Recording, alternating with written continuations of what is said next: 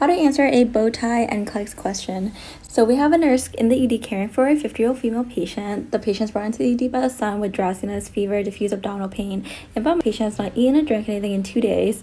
Mild crackles to bilateral lobes, tachypneic, regular hypoactive bowel sounds in all four quadrants. The skin is warm and dry, poor skin turgor. Patient slightly confused upon examination. EKG shows sinus tach with peak T waves. Vitals are temp 102.2, pulse 118, respiration is 26, BP 92 over 70, O2 98% on room air, blood glucose of 620. So now we're going to complete the diagram by dragging the choices below to specify which condition the patient's most likely experiencing, two actions we're going to take to address this condition, two parameters to monitor the patient's progress. I'm actually going to pull up the nurse's notes again so we have everything on one screen. The first step to answering a bow tie question is reading scenario, figuring out the potential condition that this patient possibly has. Our first potential condition is congestive heart failure. So do we have any signs and symptoms from the nurse's notes that may indicate this patient has CHF? The patient does have mild crackles, which could be from fluid in the lungs. So CHF is a possibility. Next, we have septic shock. So the patient is febrile with a temp of 102.2.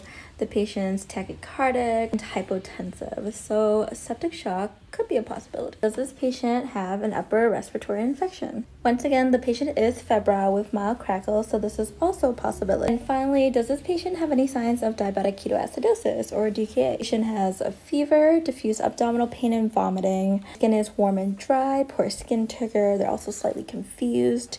Their EKG shows peak T waves, which is seen in DKA, and a blood glucose of 620. Now that we've assessed the situation, we can conclude that this patient is most likely presenting with diabetic ketoacidosis. The second step is to pick two actions we're going to take to address this patient's condition. First, we have request a prescription for an oral steroid. The steroid would actually be contraindicated since it would raise the blood sugar. Do we need a urinalysis to check for ketone? Of course, because in DKA there are extra ketones built up in the patient's blood which will eventually spill to the urine.